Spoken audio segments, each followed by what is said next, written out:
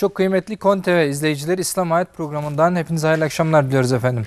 Bu akşam çok önemli bir konuya başlayacağız. Helal gıda konusu. Yediklerimiz tabii ki önemli. Ee, Birçok zaman doktorlarımızdan, e, tıp doktorlarımızdan gıda ile ilgili bilgiler alıyoruz. Ee, sağlık açısından diğer e, faydalı ya da faydasız gıdalarla ilgili ama bir de yediklerimiz acaba ne kadar helal? Helalliğine ne kadar dikkat ediyoruz? Bu akşam bu konuya başlayacağız. Belki birkaç hafta sürecek bu konu ama çok önemli bir konu. Ee, helal gıdanın öneminden bahsedeceğiz. Ee, hangi gıdalar özellikle tercih edilmeli ya da vazgeçilmeli o gıdalardan onlardan e, bahsedeceğiz.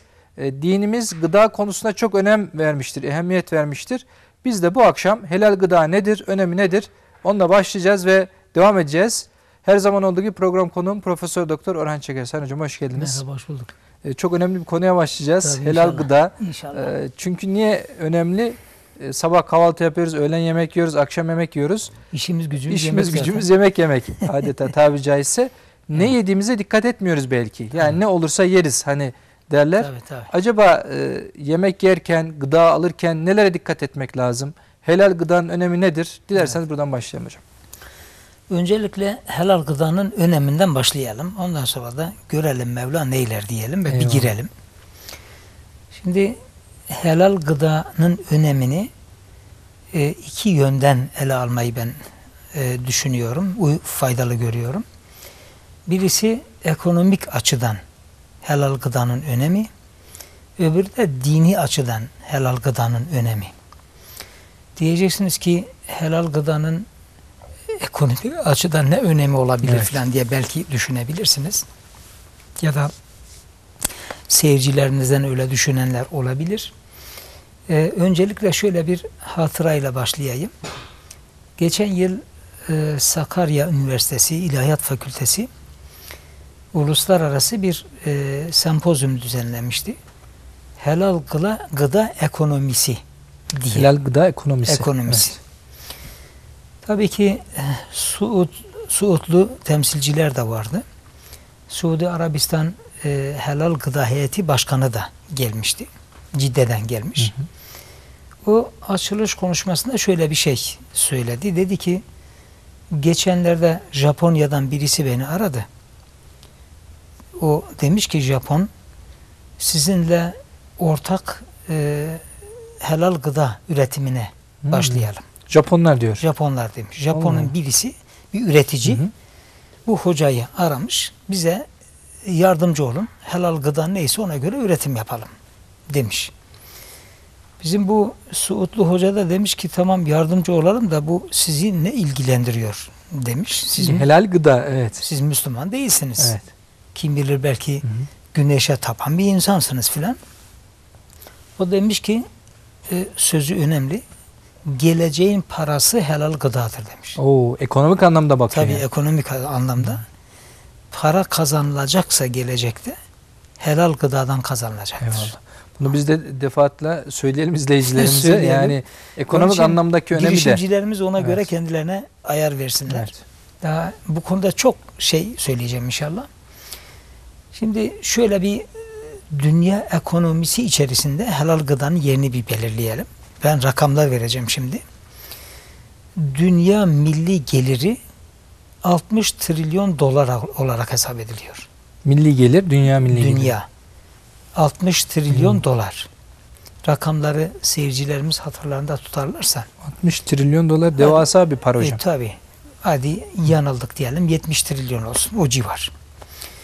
Bu 60 trilyonun e, 3 trilyonu gıda pazarını oluşturuyor. 3 trilyon. Bu 3 trilyonun da yüzde 40'ını 1,5 trilyona yakınını 1.2 Hı hı. 3 filan diye trilyon dolarını helal gıda oluşturuyor. Bir buçuk trilyon dolarlık bir Dünyada şey var. helal gıda pazarı Hı hı. bir buçuk trilyon dolar. Çok yüksek ya da bir ona yakın Evet. bir para. Milyar dolar değil Hı hı. bakın. Trilyon dolar. Trilyon dolar. Rakamları iyi telaffuz etmek lazım. Tabii. Evet. E, ona e, dikkat edelim. Şimdi bir de nüfusa bakalım. E, dünya nüfusunun m, 1.8 milyarı aşağı yukarı yani 2 milyara yakını Hı hı. Müslümanım diyen insanlardan oluşuyor. Evet. 7 milyarın 7 milyarın 1.8'i. Yani 2 milyara yakın Müslüman. Kendini Müslüman sayan insan var. Birinci olarak Hristiyanlar geliyor nüfusta. Sonra Müslümanlar geliyor. Ama Hristiyanlar şunu söylüyorlar. Kendileri söylüyorlar. Yakında 20-30 yıl içerisinde Müslümanlar birinci konuma geleceklerdir. Hmm. Çünkü Hristiyanlar çocuk yapmaya yapmaya bitirmişler kendilerini. Biz Müslümanlar bu kadar uğraşmalarına rağmen biraz çoğalıyormuşuz yani. Öyle. İstenilen seviyede olmasa da E, arzu edilen olmasa bile onlardan çok yani. kafasızca biz de onlara uyuyor olsak bile Hı hı. yine de çoğalıyormuşuz. Öyle. Onun hesapları öyle. Şimdi e, bu büyük pazardan yani helal gıda pazarından tabii ki batılı Hristiyan üreticiler pay kapmak istiyorlar. Yani Hristiyan üreticiler, Avrupalı Hristiyanlar ya da Amerikalı Hristiyanlar diyorlar ki biz bu bir buçuk trilyon dolara yakın helal gıda pazarından bir payımızı alalım. Biz üretelim, biz satalım. Burada biz olalım diye düşünmüşler, düşünüyorlar. E tabii ki bu pazara mal sokabilmek ve mal satabilmek için o malın helal olması gerekir. Onun için de ne yapmamız gerekir? Helal sertifikası veren kurumlar kurmamız gerekir. Dünya üzerinde şu anda tahmin ediyorum 400 civarında belki biraz daha fazla helal sertifikası veren kuruluş var. Hmm. Dünya üzerinde 400 belki biraz fazla. Kurum damga vuruyor. Bu gıda helaldir diye, İslami usullere göre hazırlanmıştır diye damga veriyor. Peki bunlar içerisinde ne kadar Müslüman? Belki tuhafınıza gidecek. Bu 400 civarındaki Evet. kuruluşun 90 kadarı belki 100 kadarı Hristiyan kuruluşlardan oluşuyor. Yani Hristiyan bir kurum kurmuş helal sertifikası veriyor. Çok ilginç o. Niye? yani Çünkü o sertifikayı vermede de bir pazar var, bir para var. ekonomik anlamda değerlendirirsek boşuna tabii. vermiyor. Para alıp öyle veriyorlar. Tabii. Onda da dönen para 660 milyon eurodur. Oo, yüksek bir miktar. Ha, 660 milyon euro bu pazarda dolaşıyor. Yani helal damga vuran pazar. Sadece sertifika veriyor. Helal Sadece- damgası vuruyor o sadece kadar. sertifika Hı hı. veriyor. Peki az önce dedik ki 400 civarındaki bu kuruluşun 90 kadarı tahminen Hristiyanlardan oluşan kuruluşlardır. Müslümanlardan değil. Yani Hristiyan iş adamları kurmuşlar bunu. Hristiyan e, insanlar bir e, kuruluş kurmuşlar. Helal damga veriyorlar. Onun içindir ki ilginç bir şeye rastladık. Marketlerde Hı hı. domuz eti üzerinde helal kesim diye yazılı. Helal kesim domuz eti. Şimdi Hristiyan zannediyor ki Müslüman domuzu yemiyorsa hayvanın kendisinden dolayı değil kesim şeklinden yemiyor Hmm. zannediyor. Onun için biz İslami usullere göre domuzu kesersek bu helal olur diye düşünmüşler ve bu damgayı vurmuşlar. evet. Böyle bir tuhaflıkla da karşılaştık. Helal gıdanın ekonomik anlamdaki şeyi bu. Önemi. Yani dünyada Bir pazar var. Ciddi bir pazar var ve üreticiler burada pay kap- kapmak istiyorlar. Onun için şimdiden söyleyelim. e, Müslüman girişimciler, müteşebbisler herkes kendisini geleceğe göre hazırlasın. Geleceğin parası helal gıdadır. Evet. Ve dünya çapındaki Müslümanların gıdasını düşünerek değil Tabii hocam? tabii. bu? Tabii. Sırf Türkiye değil. Dünya çapı. Ben 1.8 milyar nü- nüfus dedim ben. Evet. 2 milyara yakın helal gıda şuuru uyandığı takdirde yiyip içecek olan insan var. Müşteri potansiyeli var Tabii, yani. tabii. Evet. Bir de dini açıdan helal gıdanın önemi var. Yalnız ondan önce şunu söyleyeyim. Ee, helal gıda dinimizde sadece biyolojik bir olay değil ya da anatomik bir olay değil helal gıda. Aynı zamanda fıkıhta li gayrihi haram dediğimiz bir haram çeşidi daha var. Mesela koyun, koyun eti nedir? koyun eti helaldir. Peki çalarsan Haramdır. aynı koyun değil mi? Aynı koyun. Et olarak Öyleyse helal ama et evet. aynı. Biyolojik olarak, anatomik olarak aynı. Ama yerine göre haram olabiliyor. Dinimiz Hmm. sadece biyolojik yapıya bakarak bu haramdır demiyor. Bir de bunun geliş usulü var ayrıca. Onun da helal olması gerekir diyor. Yani Böyle- biyolojik olarak tamam ama Tabii. manevi anlamda da bir helallik haramlık var. Manevi anlamda da helal olması gerekiyor. Şöyle düşünelim. Koyunu kestiğimiz zaman belli yerlerini, boğazını helal bir et çıkar. Peki aynı kesim işini bir ateist, Hmm. bir müşrik insan, Yaparsa kafir insan yapsa aynı işi yapıyor bakınız. Kesin bir şey Kesti, aynı. kan akıttı, güzel yüzlü, hatta belki daha da temiz ve ustaca yaptı. O helal değil. Ya da Allah'tan başkasının adını anarak kesti diyelim. Helal değil. Öyleyse biyolojik yapının ya da anatomik yapının arkasında bir başka yapı var. Helal için. Buna dikkat ederek dinleyelim şimdi. Biz diyoruz ki insan helale ayarlı yaratılmıştır. Fıtraten. Tabi. Yaratılış olarak insan makinesinin aldığı ayar, Cenab-ı Hakk'ın koyduğu ayar helal ayarıdır. Öyleyse bu ayarı bozmamamız gerekir. Şimdi zamanımızda insanlarımız fıtri olan yiyecekleri almaya almaya Hmm. yaratılışa uygun olmayan gıdaları ala ala ala insandaki o ayar bozulmuş. Bütün ayarları yediğimiz şeyler aslında Şu etkiliyor. anda Evet. insan vücudu gördüğümüz insanların ayağın, ayarında ciddi ölçüde bozukluk var. Hani eskiden ölçü tartı aletlerini senede bir götürürlerdi. TSE'den ayardan geçirirler bir damga vururlardı ya teraziler bilmem kantarlar şunlar bunlar. İnsan da kendisini zaman zaman ayara çektirmeli. Bu ayar kitap ve sünnet ayarıdır. Kitap ve sünnet. Şimdi çok güzel bir örnek vereceğim. Ayarımız bozuk mu değil mi? Ona bakacağız. Evet. Peygamberimiz Aleyhisselatü Vesselam'a Miraç'ta süt ve şarap ikram edildi. Peygamberimiz sütü tercih etti. Sütü, sütü tercih edince Cebrail Aleyhisselam dedi ki fıtratı tercih ettin. Hmm. Yaratılışa uygun olanı seçtin dedi. Bakınız Peygamberimiz yaratıldığı ayar üzere duruyor. Ayarı bozulmamış. Sütü tercih ediyor. Peki şimdi 100 tane adamımızı, gencimizi dizelim. Tepsi üzerinde süt ve kola ikram edelim. Hangisini, Hangisini seçerler? tercih eder? Kolay tercih ederler hocam. Öyleyse ayar bozuk. Ayar bozuk. Evet. Ayar Buradan bozuk. çıkarabiliriz yani. Süt dururken kola tercih ediliyorsa bu işte bir tuhaflık var demektir. Peki bu ayarımızı kim bozdu? Sentetik, Hı hı. uyduruk gıdalar ala ala haramına helaline bakmadan gıdalana gıdalana Allah'ın bizi yaratırken ki koyduğu ayarı bozmuşuz. Ayarımız Kendimiz bozuk. bozduk aslında. Başkası değil. Tabii kendimiz bozduk. Ayarımız bozuk. Birisi üretiyor, getiriyor ama biz Öyleyse kullanıyoruz. diyoruz ki bu ayarı düzeltmemiz lazım. Nasıl düzelecek o zaman? Ha, helal gıdayla düzelir bir.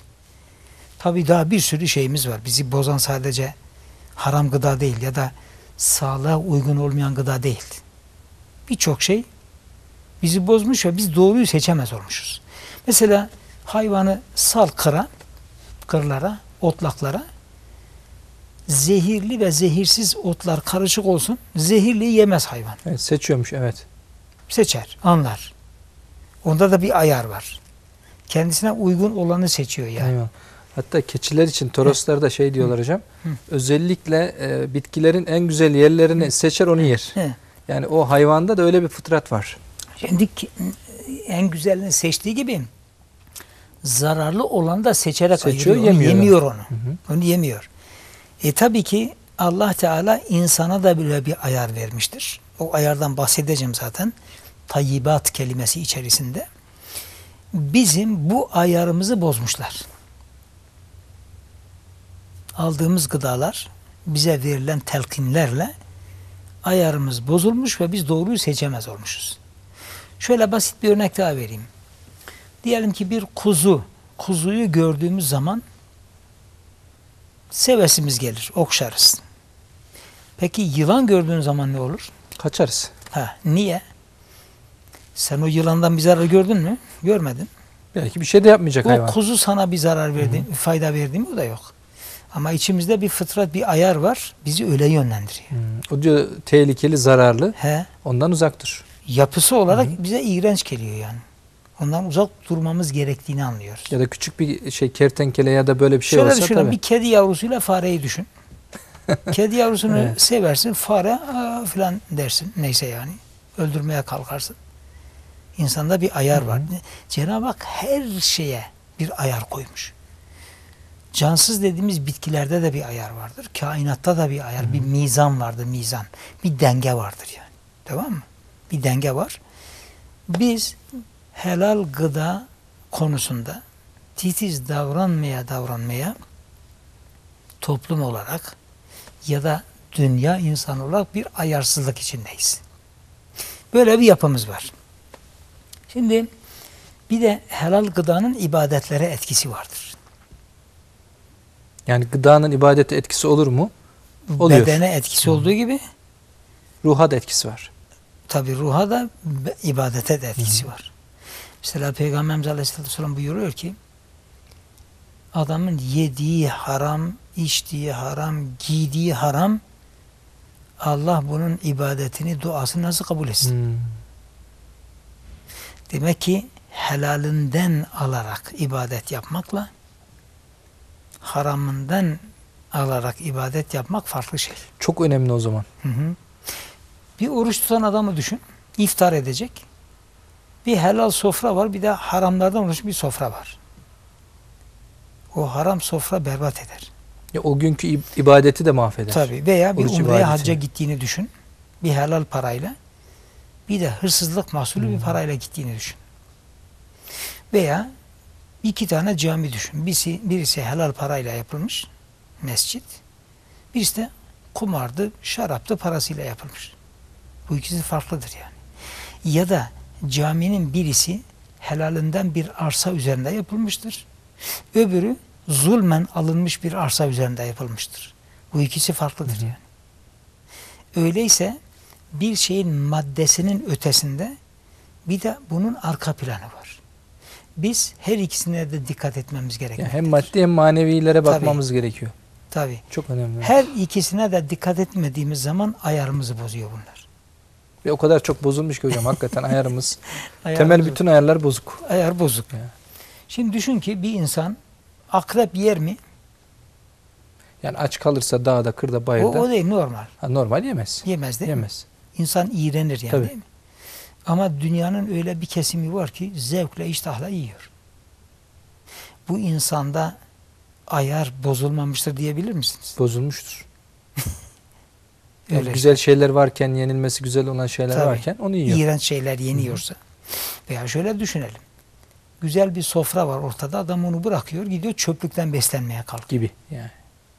Mesela, Mesela, uzak doğuda görüyoruz He, çok ilginç uzakta- şeylerle besleniyor. Börtü He. böcekle falan. ne kadar börtü Yani böcek tabii. varsa. He. O ayarın bozuk olduğu anlamına geliyor yani hocam. Tabii. Öyleyse insan helala ayarlı yaratıldığı için helalinden alırsa bu vücut makinesi uzun vadeli ve daha rentable çalışır. Ne gibi? Diyelim ki benzinli bir motor düşün. Buna mazot koyacak olursan ya da fuel oil koyacak olursan ya çalışmaz ya da kısa zaman sonra arıza verir ve çöplük hale gelir. İnsan makinesi de helalla beslenirse rentable bir fayda sağlar. Buna haramı vere vere, fıtratına aykırı bir şey vere vere onu bozarsın.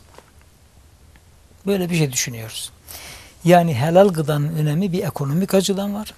Bir de dini açıdan, manevi açıdan var. Fıtrat açısından Fıtrat. var. Evet. açısından var. Şimdi bunu dedikten sonra gelelim helal gıda çalışmaları ne durumdadır dünya üzerinde? Helal gıda şuuru ve çalışması Müslümanlar arasında ilk önce 1960'larda Amerika'daki Müslümanlar arasında başlamış. Ondan önce yok yani değil mi hocam? Hani Müslüman helalinden mutlaka dikkat ediyordur da bunun standartını oluşturalım, üretimini ona göre yapalım, damgasını vuralım filan gibi bir resmiyet kazandıralım şeklindeki bir çalışma olmamış veya ihtiyaç duyulmamış. Ama Amerika'daki Müslümanlar ilk başlatan olmuşlar. Olmuş. Bunun sebebi niye? Şöyle olabilir. Nedir sebebi?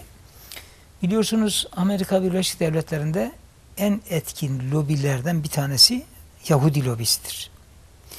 Ve Yahudiler kendilerine göre helal olan konularda çok titizdirler.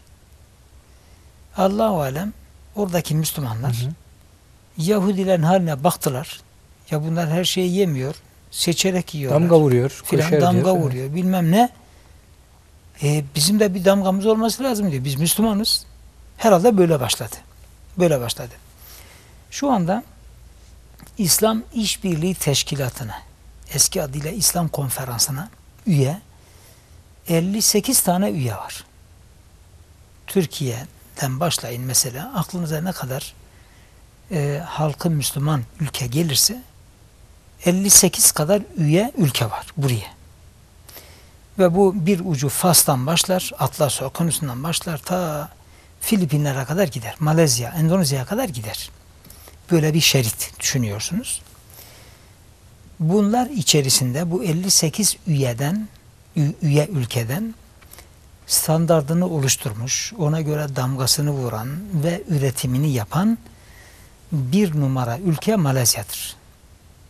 Malezya başı çekiyor şu Evet. anda. Fakat Türkiye'de o kadar çok güzel gelişmeler var ki yakında belki Türkiye başı çeker hale gelebilecek. İnşallah. Çalışmaların içinde olduğumuz için söylüyoruz. Neler yapılıyor hocam bununla ilgili? İşte Türkiye'de? onları Hı. anlatacağım şimdi. Biz e, 6-7 sene kadar önce bir platform kurduk. Akademisyenlerden oluşan. Fıkıhçılar, biyokimyacılar, kimyacılar, efendim histologlar, veterinerler, ziraatçılar, gıdacılar e, bir heyet oluşturduk. 20-25 kadar kişiyle çalışmaya başladık. Tabii ki bunu çalıştaylar şeklinde Hı hı. götürdük. Ve nihayet 8. çalıştaydan sonra dedik ki bir kongre düzenleyelim ve kamuoyuna ulaştığımız neticeleri bildirelim. istifade ettirelim dedik. Ve bunu da Ankara'da yaptık. 2011 yılında idi. Orada yaptık. Gerçekten de e, davetliler içerisinde Diyanet İşleri Başkanlığı ve Türk Stand- Standartları Enstitüsü vardı. Biz de zaten bu iki kuruma Hı hı. e, duyurmak istedik çalışmaları. Onlar da sağ olsunlar ilgi gösterdiler. Şu anda hem bizim bu platform hem TSE hem de Diyanet ortak çalışıyoruz. Diyanet temsilci gönderiyor. TSE bilim kurulunu kurdu. Bizim bu platform olduğu gibi TSE'nin bilim kuruluna geçiş yaptı. Ve şu anda biz e, standartları oluşturmakla meşgulüz. Şu anda. Evet. Bir de şöyle bir şey söyleyelim. Bu 58 üye içerisinde en son rakamı tam bilmiyorum ama galiba 38 olması lazım.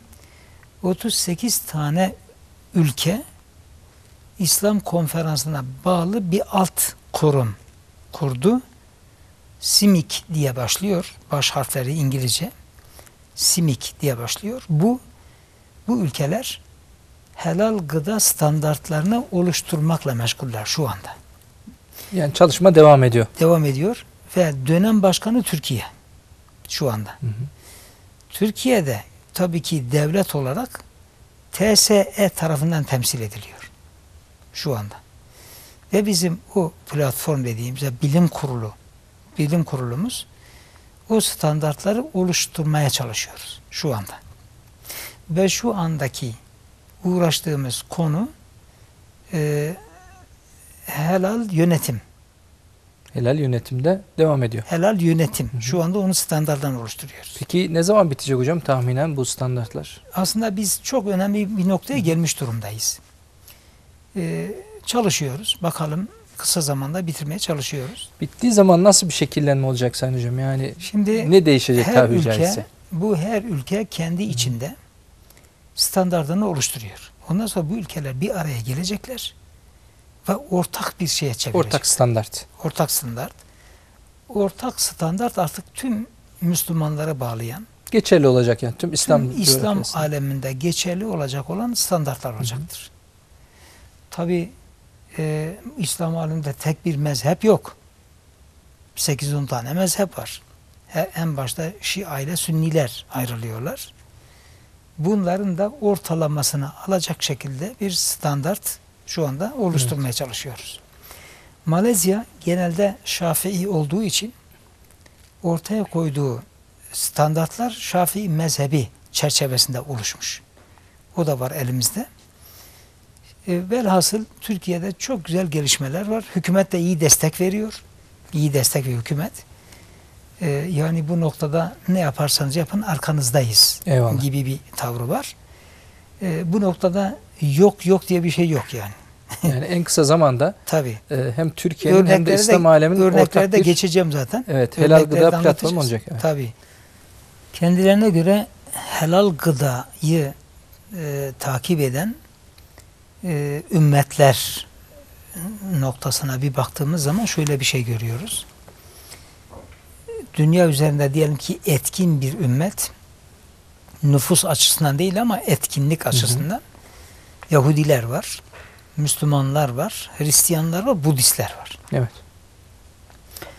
Aşağı yukarı Yahudiler sanıyorum bir 20 milyon civarında var dünyada. Ee, Hristiyanlar 2 milyar. Müslümanlar işte 2'ye yakın. Budistler de aşağı yukarı 1 milyar civarında filan Budist var. Hint Yarımadası, işte Uzak Doğu'nun önemli bir kısmı Budisttir. Şimdi bunlar içerisinde en titiz olanı Yahudilerdir kendilerine göre haram ve helala dikkat eden millet en titiz Yahudilerdir. Öncesinde de mi böyleydi hocam yoksa son zamanlardan böyle oldu? Öncesinde de öyleydi. Çünkü hatta az önce dedim ya Amerika'daki Müslümanların şuurlanması kendilerine göre bir helal e, diyelim ki standartın oluşması şuuru Allah alem Yahudilerden etkilenerek düşündüler bunu. Ee, Müslümanlar ikinci planda geliyor. Mesela domuz konusunda Yahudiler çok daha titizdirler. Çok fazla. Ee, Müslümanlar hemen arkasından geliyorlar.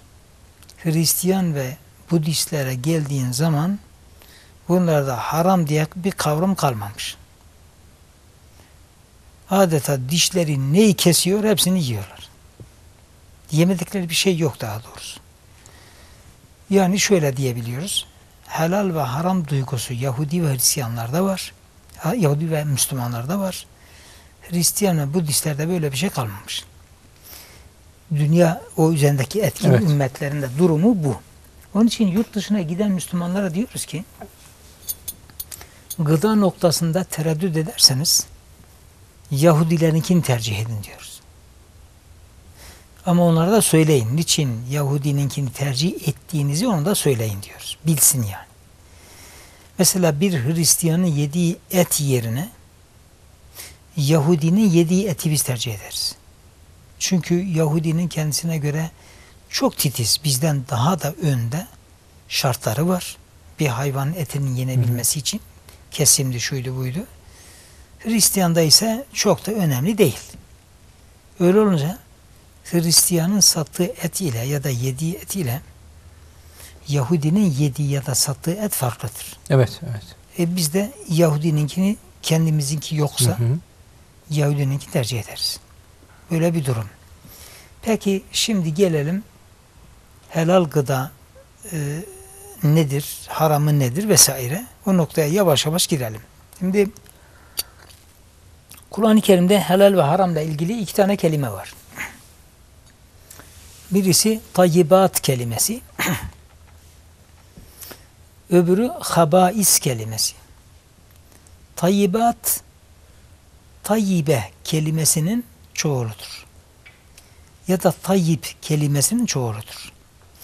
Tayyip, tayyibe hoş ve güzel olan demektir. Hani helal hoş olsun diyoruz Evet. ya. Ha, hoş ve güzel insana güzel gelen şey. Ama hangi insan? Ayarı bozulmamış olan insana Fıtratı İnsanın sağlam olan insana. güzel dediği şey. Evet. Tayyibat. Habais ise habis kelimesinin çoğuludur. Habis, çirkin ve iğrenç demektir. Bunlar çoğuludur.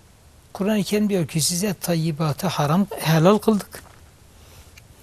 Habaisi haram kıldık diyor. Ve Peygamberimiz için de diyor ki bu ümmi Resul Nebi tayyibatı size helal kılıyor, habaisi size haram kılıyor. Hatta buradan da demiştik Peygamber Efendimizin Evet. hüküm koyma haram yetkisi ve var. Araf suresi 157. ayet. 157 Araf. Bu ümmi peygamber, ümmi Resul, Nebi. Üç kelime kullanıyor Hı hı. peygamberimiz için. Size tayyibatı helal kılıyor, habaisi haram kılıyor. Yani Kur'an'da geçmesi o noktada yenilir ya da yenilmez mutlaka geçiyor Hı, hayvanların hı. bir kısmı ama Hı. Peygamber Efendimiz dedi ki bunu yemeyeceksiniz. Evet. O da haram oluyor. Tabii. Zaten Kur'an-ı Kerim'e baktığın zaman yenmez denilen dört tane şey vardır. Ki bu dört şey Kur'an'da dört defa geçiyor. Bir de bu var. Mesela Maide suresi 3. hı. ayete baktığınız zaman Hurrimet aleykumul meyte ölü hayvan ve dem kan hangi hayvanın kanı olursa olsun haram kılınmıştır. Ondan sonra ve lahmul khinziri domuz eti haram kılınmış. Bir de ve ma uhille bihi li gayrillah. Allah'tan başkası adı zikredilerek, haykırılarak kesilen hayvanlar demektir. Dördü sayılıyor. Şimdi Kur'an-ı Kerim tayyibatı helal kıldığını söyledi. Habaisi haram kıldığını söyledi. Fakat tayyibat nedir? Habais nedir? Kur'an'da bir açıklama yok. İşte bu konuda yapılan açıklama şu. Aklı selim bir insanın Evet. yani fıtratı bozuk olmayan bir insanın hoş gördüğü şeyler tayyibattandır. Fakat bu insanın nahoş gördüğü, çirkin gördüğü şeyler de habaistendir. Yani e, ölçü bu. İnsana bir ölçü konmuş. Evet. Önemlidir bu.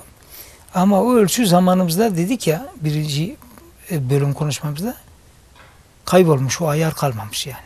İnsan helalı ya da haramı otomatik olarak seçme ayarını kaybetmiş. Evet. Biz de şöyle kaybettik. Hatta Evet. unutma sözünü. Haramlar o kadar güzel, cicili, bicili, boyalı olarak takdim ediliyor ki Oo hem de nasıl? nefsin hoşuna gidiyor. Hemen seçesi geliyor. Halbuki içinde haram vardır. Evet. Evet. Bize de cicili bicili dediniz hocam. Yani paketli olan bütün yiyeceklerde e, şuna bakmıyoruz. İçindekiler kısmına pek Hı. dikkat etmiyoruz. Ona Yani bakmamız lazım. bunu alıyoruz. E, o çok önemli aslında. Tabii. Dediğiniz gibi belki habais bir şey var içerisinde. Hı hı. Kötü bir şey var. E, mesela Avrupa'dan gelen bir çikolatayı ben bakmıştım. İçindekiler kısmını e, internetten araştırdım. Dile çevirdim falan. Mesela orada domuz jelatini yazıyor. Hı. E şimdi bir Müslüman buna bakması gerekiyor. Yani Avrupa'dan gelmiş hadi yiyelim değil. Yani sonuna kadar bakıp onu araştırıp Tabii. değil mi E, bakması gerekiyor. Yani. Tabii tabii. Jelatini ayrıca anlatmamız lazım. Anlatacağımız çok şey var kısacası. Eyvallah. Şimdi bu genel ifadeyi Kur'an'dan alıyoruz. Bir de Peygamberimizin sünnetine bakıyoruz. Efendimiz Aleyhisselatü Vesselam da bazı şeylerin ismini vererek şunlar helaldir, şunlar haramdır diyor. Mesela eşek eti haramdır. At eti için böyle bir şey yok. Aksine at etinin helal olabileceği şeklindedir. Şimdi bir insan anatomik ya da biyolojik olarak düşünse at ile eşeğin farkını görmez. Ne farkı, var ki hocam farkı acaba? yok der yani. Evet. Ama ben konuşmam başında dedim ki biyolojik olarak ikisi aynı olabilir. Dinimizin koyduğu hüküm biri helal biri haramdır. Hı hı. Ve bunu kesilmiş bir hayvan da kesilmemiş bir hayvan örneğini verdim. Aynı Evet. hayvan. Evet. Biri helal biri haram. Ne farkı var? Biyolojik olarak farkı yok. Ama biri haram, haram biri helal kılınmış. Onu Resul Efendimiz öyle Tabii. dediği için öyledir diyeceğiz. Veya şöyle diyelim. Katır eti haramdır. Ya da eşek. Peki zebra, yabani eşek, onu bir cemal eşek dedikleri. Hı hı. Ne farkı var bundan? Aslında baktığınız zaman Yapı aynen katır gibi. Evet. Değil mi? Ama o helaldir. Ve bu nas ile yani peygamberin sünnetiyle sabittir. Helaldir. Öyleyse biz helal ya da haramı ayırırken laboratuvar bilgileriyle değil peygamberimizin beyanlarıyla bunu tespit edeceğiz. Eyvallah. O Ölçü bizim bu. için öncelikli. Tabii. Ben laboratuvara soksam, incelemeye soksam zebra ile katırın farkını göremem. Ya da zebra ile eşeğin farkını ben görmem. Göremem ki. Neyse Peygamberimize bazı şeyler bize açıklamış ama bir de arada hükmüne dokunulmamış olan bir sürü şey var. Onlar helal mı haram mı? İşte bu konuda mezhepler iki tane ilke ile hareket etmişler. Bir ilkenin birisi şu. Eşyada asıl olan ibahadır. Yani bu şu. Gözün neyi görüyorsa hepsi helaldir. Kitap ve sünnetin haram dedikleri hariç. Onlar da sayılı zaten. Bu ilkeye göre kitap ve sünnete adı geçmeyen şeyler, aradaki şeyler otomatik olarak helallar listesine geçiyor. Fakat bunun tersi de var. Eşyada asıl olan haram olmaktır şeklinde. Bu kaideye göre de manası şudur. Dünyada gözün neyi görüyorsa hepsi haramdır. Kitap ve sünnette helaldir denilenler hariç. Hangi taraftan bakacağız hocam Şimdi zaman? buna göre Evet. o aradaki şeylerin hükmü haram olur. Önceki ilgiye göre helal oluyordu. Şimdi gelelim mezhepler bu konuda hangi konumda bulunuyorlar. Şimdi mezhepler Hanefi mezhebi ilginçtir. Bu konuda en dar düşünen mezheptir. Yani Hanefi mezhebine göre eti yenen hayvan sayısı çok azdır. Diğer mezheplere göre. Ve eşyada asıl olan haramdır ilkesiyle en titiz şekilde e, amel eden mezhep Hanefilerdir. Dört mezhep içerisinde konuşuyoruz. Öbür uçta kim vardır? Yani her şey helaldir. Kitap ve sünnette sayılan birkaç şey hariç diyen mezhep Maliki mezhebidir. Yani yenilip içilen şeyler konusunda Maliki mezhebi en geniş şekliyle en uçta bulunuyor. Hanefi mezhebi en dar şekliyle bu tarafta uçta bulunuyor. Diğer iki mezhep nerede yer alır öyleyse? Hanbeliler Malikilere yakın yerde yer alırlar. Şafiiler de Hanefilere yakın yerde yer alırlar. Ve tarihte de baktığımız zaman Hı hı. Hanefilerle Şafiiler beraber yaşayabilmişler. Bir mezhep yakınlığı var yani. Fakat bir Hanefi ile mesela Hanefi bir mahalle ile Hanbeli bir mahalleyi ben yan yana görmedim. Belki Suriye'nin kim yerlerinde bu var. Mesela Şam'a bağlı Doma diye bir kasaba var. Şam yakınlarında. Orası Hanbelidir. Çevre Şafii ile Hanefilerden oluşuyor. Orası bir Hanbeli kalmış. Nasıl kaldıysa. Yani Hanbeliler Malikilere yakın noktada yer alıyorlar. Şafiiler Hanefilere yakın yerde yer alıyorlarmış. Peki şimdi bize bir mesele geldiği zaman biz nasıl çözüyoruz? Bir de oraya gelelim. Evet. Şimdi biz bu az önceki dediğim kurul halinde çalışırken vardık iki kelimeye dayandık. Platform olarak çalışırken şu helal mı şu haram mı diye tespitine çalışırken iki kelimeye vardık dayandık. Neymiş iki kelime? Birisi istihale kelimesi, öbürü istihlak kelimesi. İstihale bir halden bir hale geçiş yani kimyasal dönüşüm anlamına gelmektedir. İstihale. Ama her kimyasal dönüşüm fıkıhtaki istihale hükmünde değildir. Öyleyse istihale nedir onu anlatalım. Ondan önce şunu halledelim. İstihlak da şu demektir. Yok etmek anlamına gelir Evet. bu. Bu çok büyük bir kütlenin içerisine az bir şey katıp o az şeyi adeta yok hale getirerek o büyük kütlede değişiklik mesela meydana getirmek. İstihlak. Şöyle düşünelim. 50 ton süt düşün. Bir süt havuzu. 50 ton. İçine 1 litre peynir mayası, 1 litre peynir mayası katıyorsunuz. Hepsi peynire dönüşüyor ama peynir mayası yok oluyor. Ya da görünmez oluyor. Buna istihlak deniliyor. İçinde kayboluyor çünkü. Kayboluyor. içine kayboluyor. Aslında kaybolmuyor da. Dönüşüyor, kaybolmuyor fakat görünmez oluyor. Hepsi peynire dönüşüyor. Hı hı. Buna istihlak denir. Bir de istihale vardı. En çok onu konuşmamız gerekir. İstihale bir şey bir halde bulunuyor. Üzerinde bir işlem yapıyorsunuz. Başka bir hale geliyor. İşte buna istihale deniyor. Bir örnekle anlatırsak hocam. Mesela diyelim ki e, yağ üzerinde işlem yaptın sabuna çevirdin. Hı. Evet. Bir hal değişikliği meydana geldi. Yağdı sabun oldu. Ya yağdı sabun oldu. Veya şöyle diyelim. Ne diyelim? Üzüm şırası sirkeye dönüştü. Ya da şarap sirkeye dönüştü. Olabilir yani böyle. Bu bir istihaledir. Kimyasal Hı, dönüşüm. dönüşüm. Ama her kimyasal dönüşüm fıkıhtaki istihale değildir. Şöyle diyelim. Fıkıhta istihale denilen şey pis olan, necis olan bir şeyi temiz yapan ya da haram olan bir şeyi helal yapan istihaledir. Hal değişikliğidir. Kimyadaki malumdur ki bu değil. Kimyada en basit bir dönüşümü bile kimyasal dönüşümü sayarlar. Mesela süde maya katarsın, yoğurt yaparsın. Bu kimyasal bir dönüşümdür. Ama İslam'a göre istihale değildir bu. E, Helaldir çünkü zaten. Ha. İkisi de helaldir. Tabi. Gerçek bir dönüşüm değil. Öyleyse dedik ki biz şu istihaleyi bir tespit edelim. Bu neyin nesidir diye. Neye istihale demişler, neye istihale değil demişler.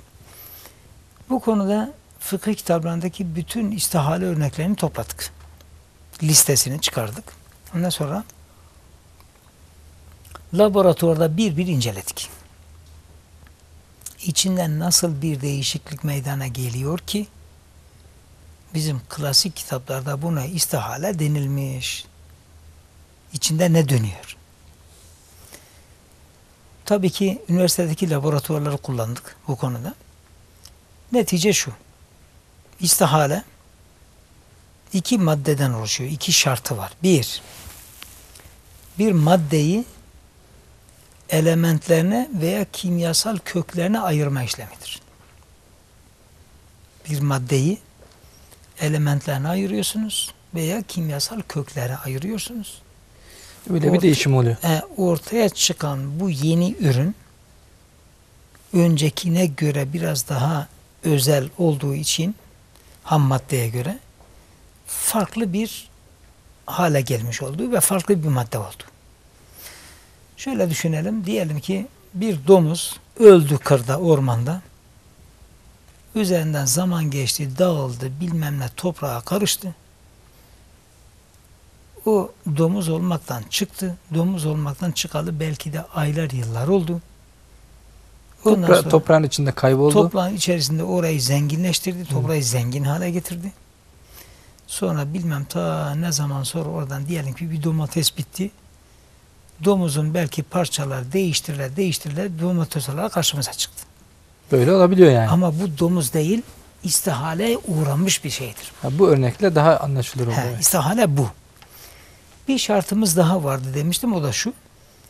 Ortaya çıkan yeni ürün ham maddeden vasıf olarak farklı olacaktır. Aynı olmayacak. olması lazım. Mesela yağları ele alalım. Kimyadaki yağ sınıflarını. Üçlü yağlar var. Ona trigliserit diyorlar. Ya da ikili yağlar var. Digliserit veya mono. Tek gliseritli, asitli olanlar var. Şimdi üçlü bir yağ alın. Üzerinde işlem yapın. tekli yağa çevirin. Yani tri monoya çevirin. Bu kimyasal bir dönüşümdür ama fıkhi anlamda istihale değildir. Hmm. Çünkü önceden de yağlı, şimdi de yağdır. Yani ana şeyine baktığımızda değişen yok. çünkü. Evet. Vasfı değişmedi. İstihale olarak kabul edilebilmesi için vasfının da değişmesi gerekir. İstihale bu. Yani şöyle diyebilir miyiz? Yenilmeyecek bir şey e, dönüşüm yoluyla Hı. e, yenilebilir hale gelmesine istihale diyebilir miyiz? Tabi.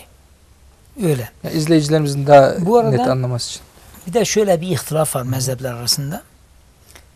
Bir necis maddenin helal hale gelebilmesi için suni bir istihale değil, doğal bir istihale geçirmesi gerekir. Az önce anlattığınız örnek gibi. Görüşleri de var.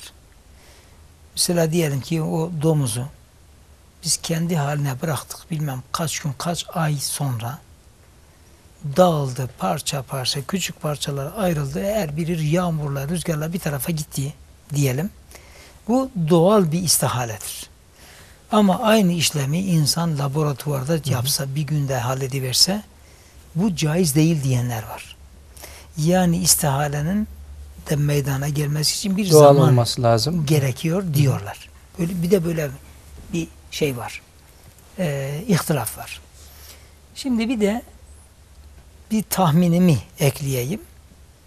Derslerde tahminen bunu söylüyorduk ama doğru olduğuna da inanıyorduk gerçekten. Fakat denememiştik. Şöyle buharlaşmayı da buharlaşmayı da fiziksel bir olay olmasına rağmen biz istihale sayıyoruz. Buharlaşma. Ve hatta şöyle bir kaide yazdırıyorduk sınıflarda. Bir şeyin buharı, gazı yani kendi hükmü, kendisi hükmünde değil. Böyle bir kaide. Bir şeyin buharı, gazı kendisi hükmünde değil. Hmm. Mesela, mesela diyelim ki biz bir ilacı yuttuğumuz zaman orucumuz bozulur. Fakat o ilacı sıcak suya koyacaksanız çıkan buharını içinize çekeceksiniz deseler Oruç bozulmaz. oruç bozulmaz. Halbuki buharın içerisinde bizim az önce kullandığımız e, şey de var. ilacın bir parçası da var. Hapın bir parçası da var. Oraya attık içine diyelim mesela. Aynısı olmasına rağmen buharlaşmayla değişti ve farklı bir hale geldi. Bundan hareketle diyoruz ki mesela Ramazan'da ilaçtan örnek vereceğim. Ramazan'da nefes darlığı çekenlerin sorduğu bir soru vardır. Şöyle düşünelim. O fıs fıs dedikleri bu ilacı insan kendisi doğrudan alsa orucu bozulur. Ama fıs fıs dediğimiz şekliyle ağzına böyle bir buhar şeklinde Hı hı. fışkırtsa bir şey olmaz. Ya da baş ağrısı için verilen bazı şeyler vardı, ilaçlar vardı. Sıcak suya atın, buharınızı içinize çekin derler mesela. O orucu bozmaz ama ilacı aldığın zaman kendisi bozulur. Dolayısıyla bir şeyin buharı kendisi hükmünde değil kaidesini çıkarmıştık. Şimdi laboratuvar imkanı elimizdeyken dedi ki bunu bir deneyelim. Ve kimyacı arkadaş o zaman beni aradı. Dedi ki ne yapacaktık bir daha söyler misin? Söyledim. Dedim ki idrarı kaynatacaksın. Buharını yoğunlaştırıp bir şişede bize getireceksin. O yoğunlaştırılmış, damıtılmış olan idrarı da bizim marketlerde satılan şişe sularıyla bir karşılaştırdık. Bu kadar mı muhtevası birbirine benzer? Hayret edersiniz. Yani idrar buharlaşınca içtiğimiz su gibi mi oluyor? Buharlaşma istihale hükmündedir. Hmm. Bunu Ankara'da anlattığım zaman konuşma sonrasında arada birisi geldi dedi ki sizin bu anlattığınıza göre rakının helal olması gerekir dedi. Ben anladım tabi de niye dedim. Çünkü rakı şarap buharlaştırılarak, damıtılarak elde ediliyor. E siz dediniz buharı kendisi hükmünde değil deyince şarap haramsa öbürü helal olması lazım. Mantıklı bir şey. Ama dedim istihalenin ikinci şartını e, unuttunuz Dikkat dedim. almak lazım evet. İkinci şartı neydi? Yeni çıkan ürün vasıf olarak öncekinden farklı olacak dedik. E, şarap da sarhoş ediyor, rakı da ediyor. O zaman Öyleyse aynı şey oluyor tabii. necaset devam ediyor Tabii. demektir o. Velhasıl istihale bir maddeyi elementlerine ya da kimyasal köklerine ayırma işlemidir. Ortaya çıkan yeni ürün de vasıf olarak öncekinden farklı olacaktır. Kuralımız bu. Tabi. Kural bu, istihale bu. Şimdi bir de toprak hocasından bir toprak semineri dersi alalım dedik. Toprak ne yapıyor? Kur'an-ı Kerim'de Bakara suresi 267. ayette 267. ayetin işaretinden şunu anlıyoruz. Topraktan çıkan her şey tayyibattandır, temizdir. Topraktan ne çıkıyorsa insan sonradan bunu necis hale getirir. Topraktan diyelim ki mermer çıktı. Üzerinde namaz kılarsın. O mermer parçaları cebindeyken, üzerindeyken namaz kılabilirsin. Namaz sahihtir. Veya topraktan diyelim ki herhangi bir bitki çıktı. Temizdir. Temizdir. Üzerinde namaz olur. Ama o bitkiyi ileride birileri şaraba çevirir. Üzümde olduğu gibi. Üzümde olduğu gibi. O zaman necis hale gelir. İnsan kendi He. yapıyor yani necis hale getiriyor. Peki dedik toprak ne yapıyor dedik. Hı. Toprak hocasından dinliyoruz şimdi. İlginç bir bilgi verdi. Bir hektar toprakta bir hektar toprak düşün. Kalınlığı 30 santim. Bu toprakta ne kadar mikrop olabilir? Kilo olarak, ton olarak düşünelim. Mikrobun ağırlığı var mı? Yok. ne kadar kilo mikrop olabilir bu toprakta? Bir rakam söyle. Yani hiç tahmin edemiyorum hocam. Ha. 12,5 ton bakteri faaliyet gösteriyor. Ton diyorum. 12,5 ton. Ton. Tona vurduğumuzda. Ton, ton. Kilo değil. Kilo değil, ton mikrop. Çalışıyor. Yani 12.500 kilo mikrop yani biz çalışıyor. bir avuç toprak alırız bir şey görmeyiz. Ama içi mikrop dolu, mikrop dediğimizde Bakteri. korkutucu bakteri yani faydalı Bakteri, olanlar. Durmadan çalışıyor. Ne yapıyor toprak? Necis bir şeyi temiz hale getiriyor. Hı. Toprağın bu özelliği var yani. Tabi. Teyemmüm caiz biliyorsunuz. Temiz çünkü. He. Şöyle bir kimyavi olarak kimya diliyle konuşalım. Toprak organik maddeyi inorganik maddeye çevirir. Organik madde diyelim ki canlı bir hayvan öldü, düştü toprağa. Toprak onu zaman içerisinde ayırır, ayırır, ayırır, parçalar. Bunu elementlerine inorganik bir maddeye çevirir. Yani e, baktığımız zaman o bakteriler çalışıyor. Tabi diyelim ki şöyle et neden meydana geldiğini söyleyelim. İçinde karbon var, efendim hidrojen var, oksijen var, azot var diyelim mesela. Bir hayvan etiyle tabii ki hayvan toprağa düştüğü zaman toprak o eti parçalıyor, parçalıyor, karbonu ayırıyor, hidrojeni ayırıyor, oksijeni ayırıyor, azotu bir tarafa ayırıyor ve neticede et kalmıyor, bu maddelerin kendisi kalıyor. İşte sana istihale. Eyvallah. Biz de hani topraktan geldik toprak olacağız diyoruz Tabii. ya insanı da aynı Tabii. şekilde toprak temizliyor. Şimdi toprak bunu yapmakla kalmıyor tabi. Bu işlemi yaptıktan sonra bir de mineral eklemeye başlıyor. Besliyor yani. Mineralli toprak olduktan sonra da bitkiler ondan istifade ediyor. Müthiş bir O- mucize yani. Onları da biz Evet. alıp Ya, sebze olarak, meyve olarak yiyoruz. sanat eseri. Veya bu- hayvan evet. o otu yiyor, et yapıp bize veriyor ya da süt yapıp, yumurta yapıp bize veriyor. Eyvallah. Sen tüm hocam- dünya, tüm kainat fizik ve kimyadan ibaret çalışıyor. Eyvallah. yani. Bu önümüzdeki hafta da programımıza devam İnşallah, edeceğiz. Ee, şu an inşallah. itibariyle sona erdi programımız ama bir izleyicimiz e, Mehmet Zahit Dövdük isimli izleyicimiz. Sayın hocam saç jölelerinde saç kremlerinde az da olsa alkol bileşenleri olabiliyor. Kullanmamızda sakınca var mı? Dilersen önümüzdeki haftaya bunu. Önümüzdeki hafta yalnız hemen kısa bir cevap verelim. Onun bir sakıncası yok. Yok kullanabilir. Yok. Haftaya anlatalım inşallah. Anlatalım. Eyvallah. Sayın hocam ağzınıza sağlık. Çok Sağ olun, teşekkür razı ediyorum. Sağ olun. Değerli izleyicilerimiz bir programımızın daha sonuna geldik. Başka bir programda buluşmak dileğiyle. Hoşçakalın. Allah'a emanet olun efendim.